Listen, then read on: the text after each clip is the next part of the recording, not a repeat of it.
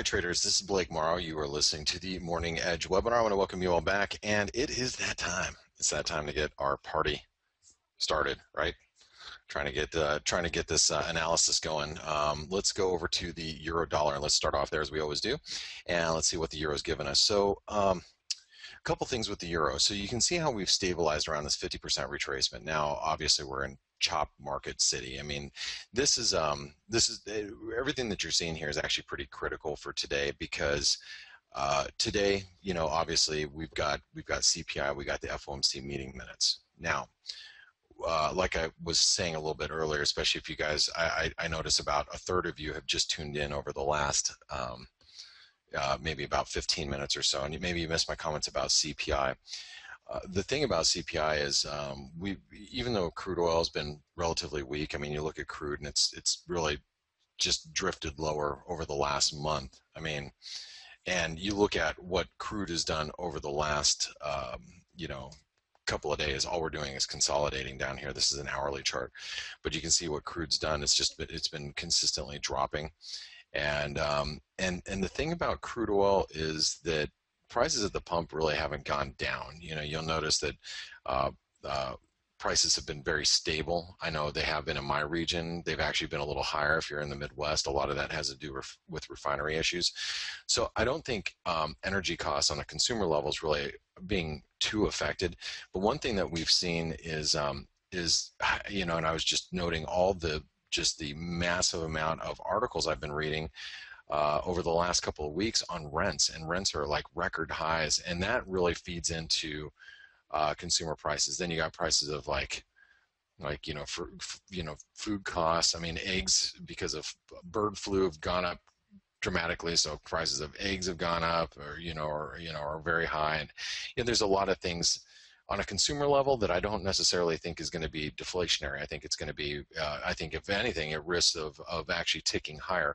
Now, keep in mind that producer prices also ticked higher last month or, you know, two weeks ago or whatever, whenever we got the PPI. Maybe it was last week. I can't remember right off the top of my head. But um, if CPI comes in firm, uh, you know, 0.2% or better, uh, I mean, we're expecting 0.2% on the core read, I believe. Let me double check that before I go too crazy. Yeah, on core, both core and headline number, we're expecting 0.2%. If either one of those numbers come in a little hot, uh, you know, that could give a dollar, the dollar a bit of a boost. Now, 110 should be support. So anything that we see from CPI, we should be contained down here. I don't, uh, unless CPI jumps at some ridiculous amount that like is is more of jaw dropping, which you know I'm not expecting. i would be surprised if we I'd, I'd, be surprised if we point uh, if we print above 0.2 percent, frankly. But it you know in the event that something crazy happens, uh, then you know uh, everything's off the table. But for right now, I actually believe that the 618 is going to offer a lot of support, at least between now and FOMC meeting minutes. Now you know, we, you and I, um, if you listen in here uh, at the Lunch Money webinar about four hours from now, we're going to be reviewing the currency market just before the FOMC meeting minutes again. So I'll see you again before the meeting minutes today. But for now, we're got to deal with the CPI. So 110 should offer support, and and I also believe that any rally back to 111 is going to be contained as well. Now you might say, well, Blake, how about this previous support, the spike low here at 110.70? Do you think that'll offer resistance? I think that the market has the capability of taking stops um, in, in both directions. So that means that you know we could actually hit a new low here take stops to 110, or we can hit new highs, take stops up to 111. I do believe that 110 to 111 will will captivate prices for today. Okay, at, at least in you know until FOMC meeting minutes. So 110 should offer support. Uh, one and 110, by the way, is significant support. I, I need to put an asterisk there. The reason why it is is because it is the 618 retracement of its recent rally. Okay, so 110 should offer great support. Uh, 109, you know, and change. But uh, you, you know me, I like to do approximations because technical analysis is not an exact science, nor is trading. So um, it'd be my life would be a lot different if it was. it would be a lot different if it was just very specific. But um, so we're in a range and 110 to 111 so around 110 you should see a lot of support. I think if we get a push up to 111 this morning um, you know people that want to be long the us dollar ahead of the fomc meeting minutes because they're expecting a hawkish you know fomc they're going to they're going to be selling the euro dollar at 111 today if we can get up there this morning okay? So th that's our range for the euro. Cable um, I I would be a little concerned about the cable. Uh, I and and I have right now I have pound short exposure um, through crosses. Short the pound New Zealand, pound Aussie. Um, both of them are small. Um, they're just kind of in the middle of their range right now. Uh, the pound, um, uh, the euro pound, I'm long, you know, small position, uh, higher, but just you know, I'm I'm kind of building that position because longer term, I think the euro pound is gonna going to be staging a, a, bit of a rally. Uh, but the pound dollar, if I was long the pound dollar, which I'm not, I would be concerned. Uh, and the reason why is because we did fail above 157 yesterday, which was the 618. I told you if we did not close above the 618, that's going to be problematic. We didn't close above that 157 level, and even this morning, the rally to 157 was thwarted that's concerning if you're bullish the pound you got to be looking at that going hey wait a second this isn't good. You know what i mean? Um, because that that to me really really emphasizes the importance of this resistance right now. Let me get let me get this out of the way.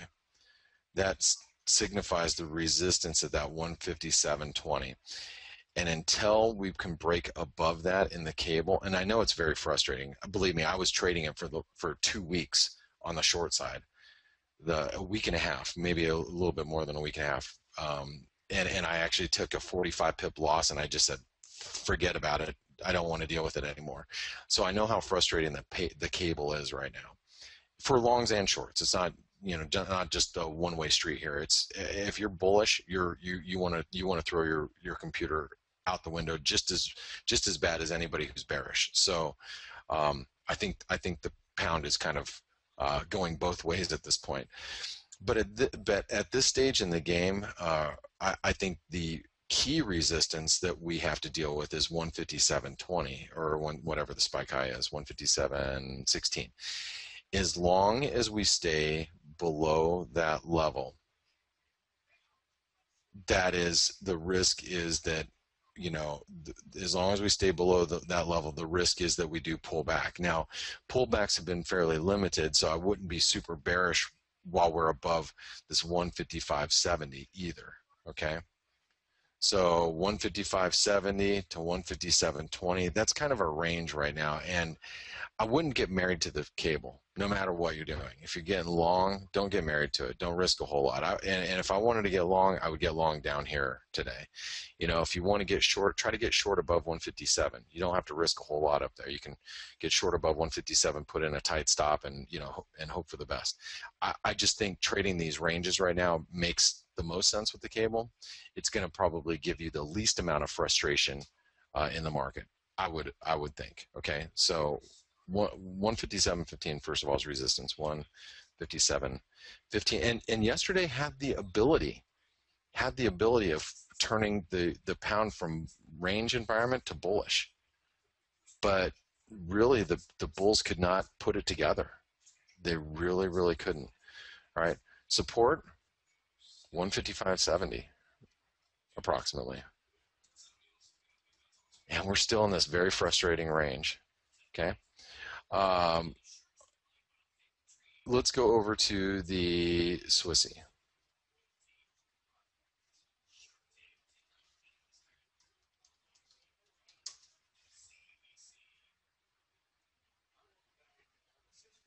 So the Swissy, um, I, I actually sent this chart out to our WizeTrade customers this morning. We are sitting on really critical support here, okay, on the Swissy if you want to get long the Swissy, this is the time to do it. However, I'm going to tell you from somebody who's long right now and I'm profitable, I'm not comfortable with it. Okay. Um, the uh, the dollar Swiss is sitting on support. It, it's having a hard time rallying. and it's having a difficult time rallying, even as the German courts passed the the, the next bailout for Greece. I'm surprised that the euro hasn't rallied and the dollar Swiss hasn't rallied at the same time. All right, and you know maybe that has a little bit to do with some of the risk aversion that's uh, in the markets and the in the overall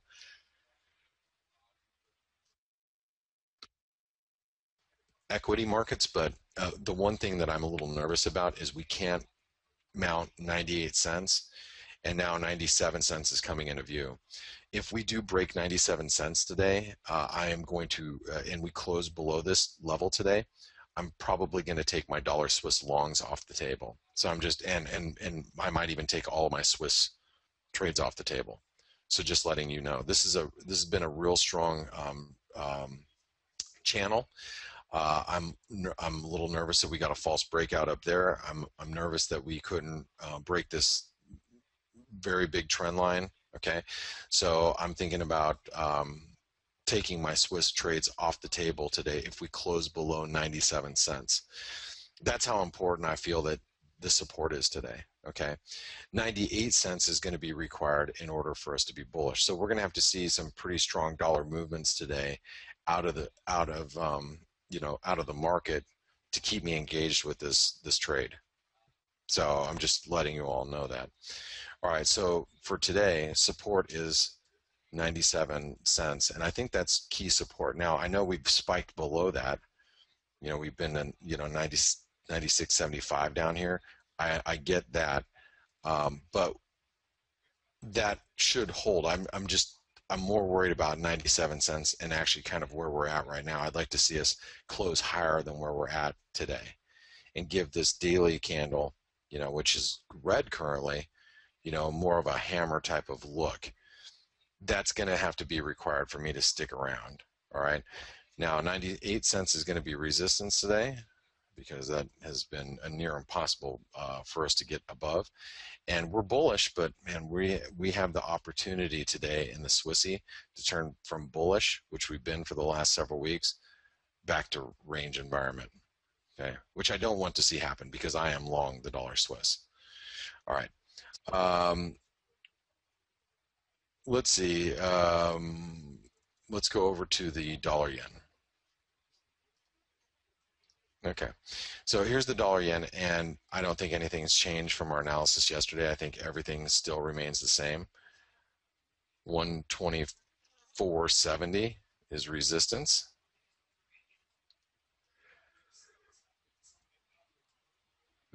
Which actually we could probably say it's 124.60, but the 618 is right here and that 124 is still support. I, I, I really, uh, as I've told you the last couple of days, I'm so uninspired by the yen pairs at the moment. So uninspired. Like, you know, everybody's like, I, I say everybody, I'm, I'm just saying anybody who's asked me about like the yen pairs is asking me, oh, you know, what about the Aussie yen? Is it a good short up here? You know, it's still below 92. And I'm like, yeah, go ahead.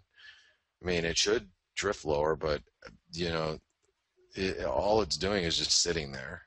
Yeah, I'm not, I'm not, I'm not excited about getting into a trade that's just sitting there. You know what I mean? I mean, the Aussie yen should be a good short from here, but it's not moving. You know, it's not moving up or it's not moving down either. You know, and and so it just I'm very uninspired with these yen pairs at the moment. That will change. Um, you, you, guys uh, have that have not. Um, you guys that have uh, been with me for a long period of time, you know that yen pairs go on and off my radar all the time. When they're on my radar, they're squarely they're squarely eh, on on the front burner, and uh, and I've become very focused on yen pairs. But like right now, I could care less what they're doing, really. And uh, and on top of that, we're dealing with these you know the summer doldrums too. Mm which isn't helping at all. Okay, let's go over to the dollar Canadian. So the Canadian, um, you know, everybody's got a different view of the Canadian, and everybody seems to have an opinion about the Canadian at the at at, at, at this point. I'm not too sure where everybody was at when when we were buying it at 124 uh, down here but everybody seems to have an opinion on, on the Canadian nowadays. Listen, the, the Canadian's not going to move anywhere without crude, in my opinion. Um, now, that doesn't necessarily mean that the Fed won't influence or the FOMC min minutes won't influence the uh, the dollar Canadian, but I think I think the the the the the power that crude has over the Canadian is uh, is is is is something that can't be really matched at this point. And what you'll notice is crude is in a really tight trading range and the Canadian is starting to tighten in a really tight trading range. That dotted line that you see there, don't forget that is the monthly 2009 breakout point. We're sitting, we're literally sitting on it right now. It's at it's at 130.65. The bid I see is 130.60, you know, seven right now. I mean, this is we we are consolidating at a big big level. You know, so view it however you want to view it right now. But I see a really tight consolidation, and which, you know, buying it at 130 makes sense. And, and matter of fact, if, if I drew that yesterday, but I'll have to redraw. I'll just drew, you know, it didn't quite make it to 130. It made it to 130 and a quarter, which you can see is, you know, spike low down here. So 130.15 now. It's good support. Resistance, if you want to be on the short side, 131.20. Frankly, if we get up to 131.20 after the CPI, if we get up there, I'll probably exit. I think I'm just going to take my dollar Canadian off the table, which I'll, you know, I'm I'm up a few pips. I'll just I'll take it until I have further direction coming out of this triangle. Now this is, you know, whether you see it as a triangle, a head and shoulder pattern, whatever you want to see it as, right now it's in a bullish trend. Okay. And this, correct me if I'm wrong, is a pennant, right? Um, all it's doing is consolidating at the top of its range and at the, and at the highs. And so until it really starts to break through some of the support at like 129.50 or so, I don't know if I'd be bearish the dollar Canadian right now. Okay.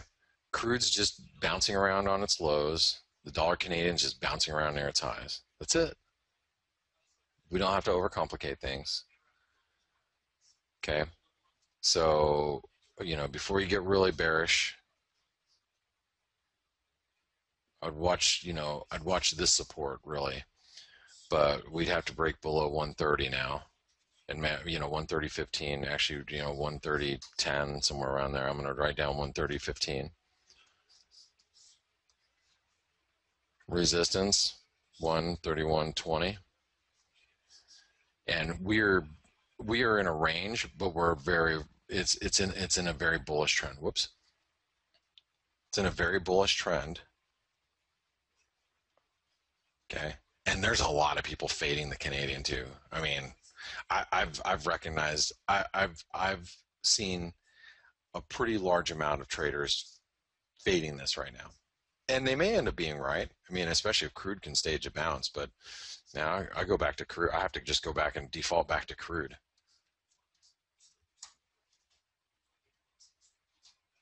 Look at crude right now and tell me crude's ready for a rip roaring bounce.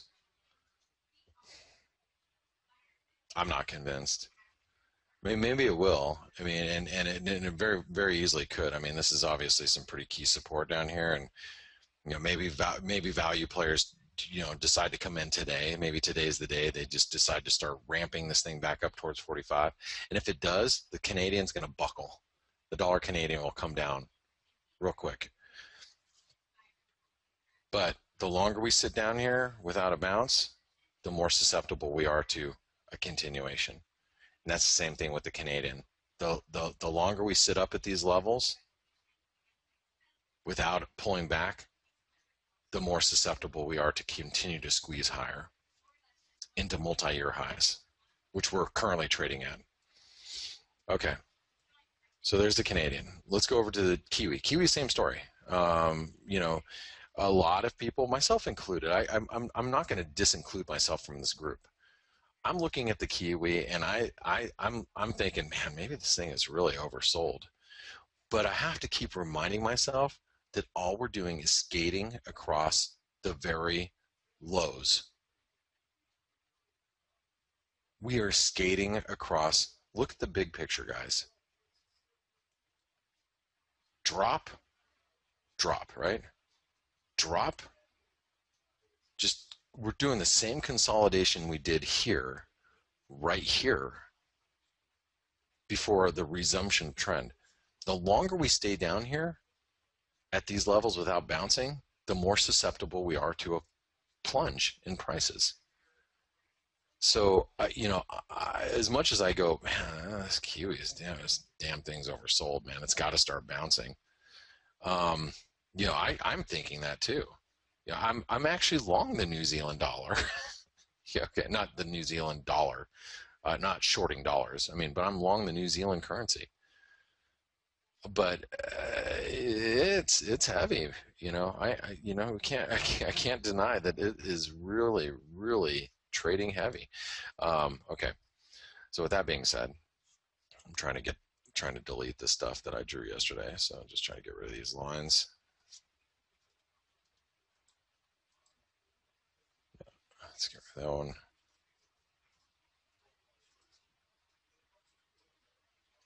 I can't. There we go. All right.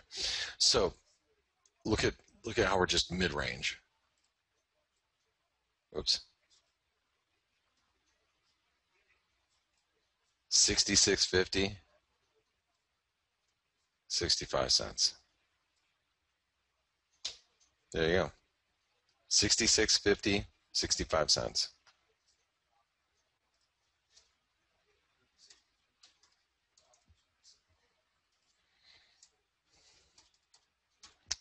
And until we break out to the upside, we're still in a bearish trend.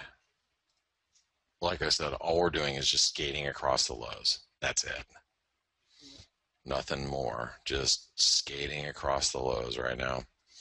All right, Aussie dollar, very similar situation. Can't take out 74 cents to the upside. Matter of fact, we were probing last night below 73 and a quarter. When I went to bed last night, we were we were down below 73 and a quarter. We were down here. All right. S again, this is a this right here, and let me delete this. Uh, I'll keep that for a second. I have a shooting pain going through my pinky toe right now, and I'm not too sure why. Like, I've never, I don't think I've ever felt anything in my pinky toe except when I stub it. I had a shooting pain going through my pinky toe. Has that ever happened to you? Like I'm just sitting here and all of a sudden my a shooting pain in my pinky toe, not in my, not in any other toes, just my pinky toe. The weirdest thing just happened just now. John says you're getting old, Blake. I guess, yeah. North of 40 and weird, weird things happen. Okay, so, and I'm sure many of you can attest to that. You're like, oh yeah. no, Rick, it wasn't a scorpion because it was. Uh, I, I'm, I'm, I'm, I'm. It's not a scorpion. I, I'm. It was just a like a like a like a shooting muscle pain. Weird.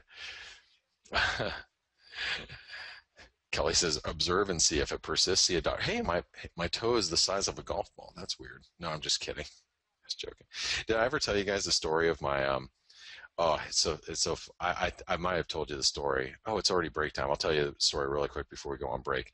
Um, I uh I went to you know I went to to uh to to to um ask my wife to marry uh, marry me. I was living in Dallas. Uh, I was a part owner of a brokerage firm, a technology company called Liquid Trader Technologies, and um, I wanted to bring my my girlfriend, who is my now my wife, I wanted to bring her to Dallas, and I knew the only way that I was going to get her to Dallas is to ask her to marry me, and I you know and I wanted to anyway. I wanted to propose, so you know I asked her dad for permission, you know, and her brother, and um, so, you know, I got a ring, prepared everything for like this trip to San Diego, um, you know, hot air balloon, beach, you know, all sorts of stuff.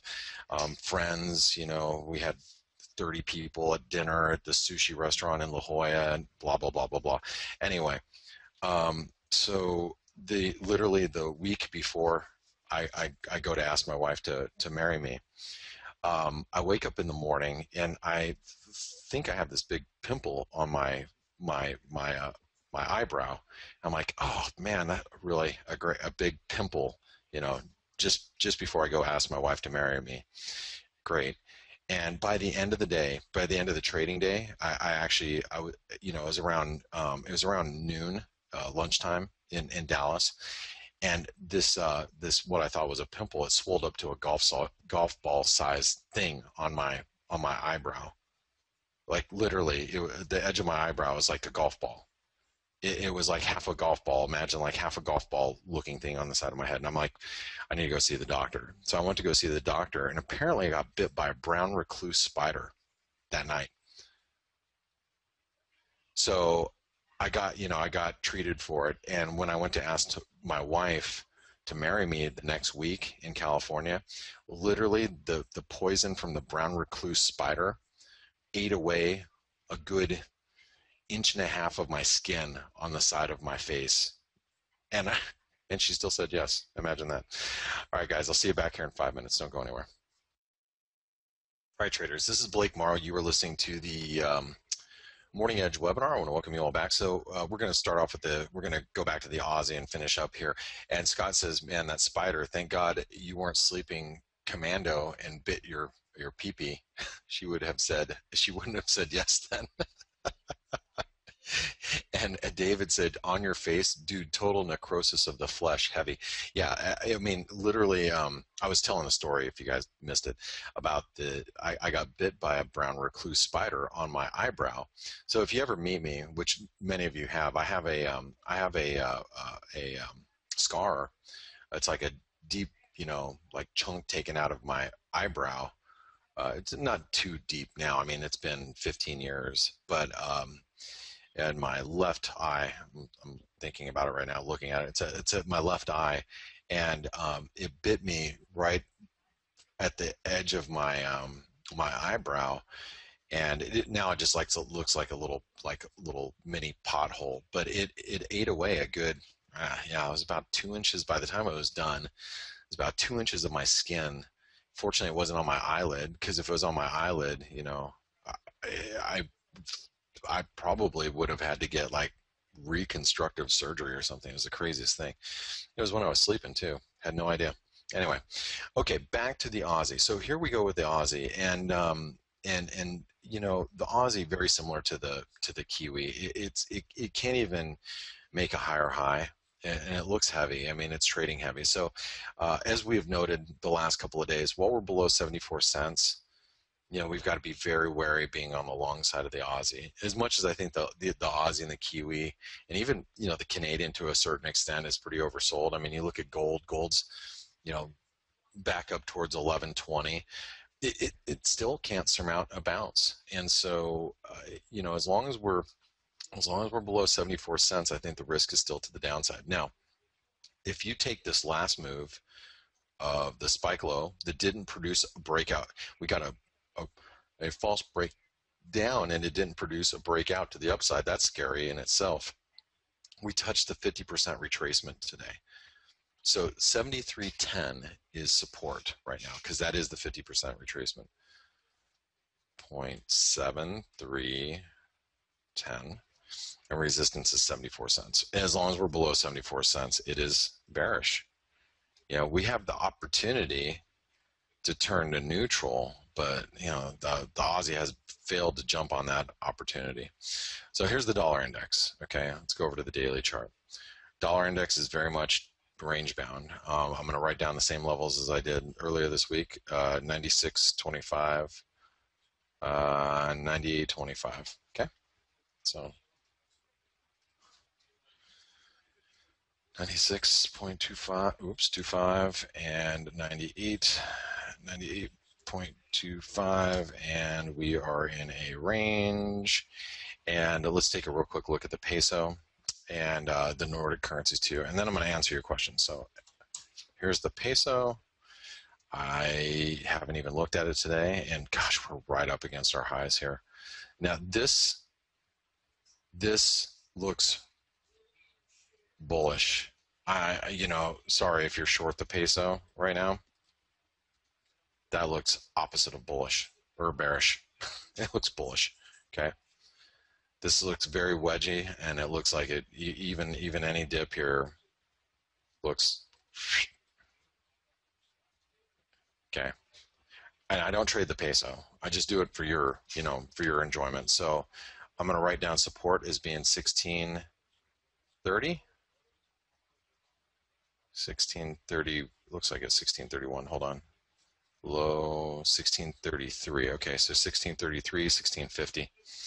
Looks bullish to me for now. Now it's it's going to be a great setup as a short for those of you can that can trade it if if the dollar gets hit today. If the dollar gets hit today, 1633. That's going to be key support and 16.5000. That's key resistance. Probably to put one too many zeros in there, but that's okay. Let's go. Uh, there we go, and it is bullish. Let's go over to the Norwegian krona, which we're really in a tight range here. we're trying to, I mean, here you you you you want to tell me that you want to tell me right now that that crude's about ready to go up. The Norwegian krona says no, it's not. I mean, look at this thing. This thing is just, you know, um, just on the verge. Hold on one second. Stand by.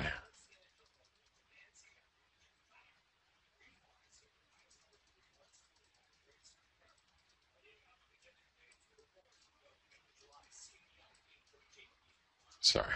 Okay.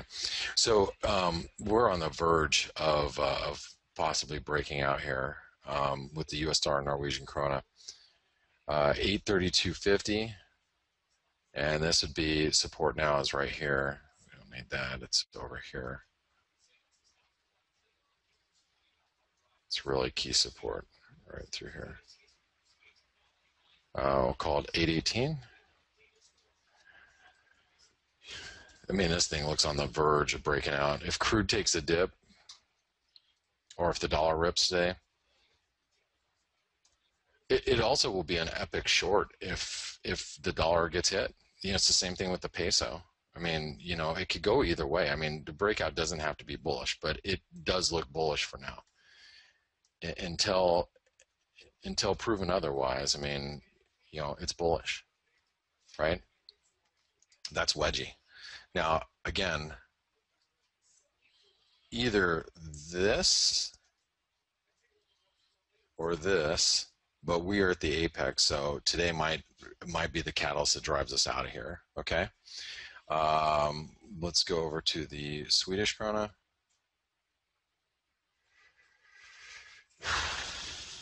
Now, the Swedish krona, it's a little different story here. The Swedish krona, remember the inflation data last week was really weak, or uh, excuse me, it was really strong for for Sweden.